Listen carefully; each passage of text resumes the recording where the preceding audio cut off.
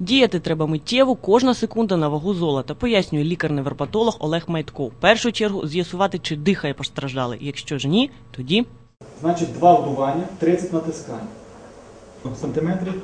От так. Лікар зауважує, навчитися надавати першу медичну допомогу може будь-хто, от тільки рятувати постраждалих очевидцям заважає страх, а часом і байдужість. Констатують державтоінспектори. Аби це подолати, необхідно володіти знаннями і навичками з екстреної долікарської допомоги. Селекція дуже багато нам допомогла, тому що вона зрозуміла, як нам треба поводитись, не хвилюватися, які потрібно дії проводити під час, ну, під час ДТП. Ініціативу Державтоінспекції підтримують і викладачі школи водіїв. кажуть, дізнатися про щось нове завжди корисно. Сьогодні інспекція ДАІ приїхала до нас, провела заняття з викладачами, з майстрами по водінню, слухачами, які в нас навчаються. покращується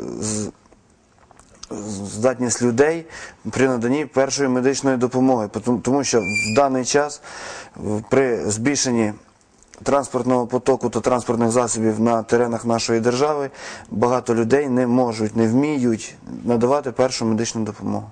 В області діє 59 шкіл для підготовки водіїв. Обійти планують кожну, тим паче, що наука про надання першої медичної допомоги не стоїть на місці. Я вважаю, що е, такі заняття потрібно проводити е, круглоріч е, і для того, щоб будь-який майбутній водій в екстремальних ситуаціях і на місці, опинившись на місці пригоди, міг е, зреагувати е, в спокій, е, в стані спокою і знаннями медичної допомоги надати адекватну допомогу постраждалому. У результативності курсів пересвідчились і у Державтоінспекції. На хмельницьких дорогах поменшало ДТП із смертельними випадками. Нами е, розроблені такі пам'ятки, які в доступній е, формі е, розкажуть і покажуть перші навики надання медичної допомоги.